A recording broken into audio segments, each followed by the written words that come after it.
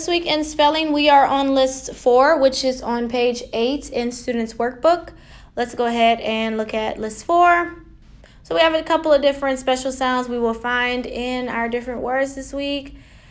First word is dish. D I S H, dish. Number two, shop.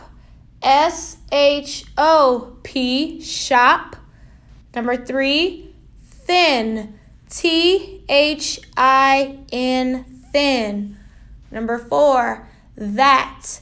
T H A T, that.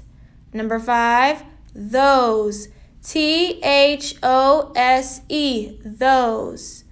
Number six, blend. B L E N D, blend. Number seven, cloth. C L O T H, cloth.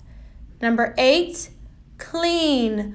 C L E A N, clean. Number nine, flag. F L A G, flag. Number 10, float. F L O A T, float. Number 11, glad. G L A D, glad. Number 12, globe. G L O B E, globe. 13, your. Y O U R, your. 14, there. T H E R E. And 15, said. S A I D. In addition to your spelling list in your book, of course, you will have your Greek and Latin words this week, so that will give you a total of 17 words on this week. The Greek word this week is hippos, H I P P O S, hippos. It means horse. An example word from the Greek word hippos is hippopotamus. A hippopotamus is a river horse. So that's a word we get from the root word hippos.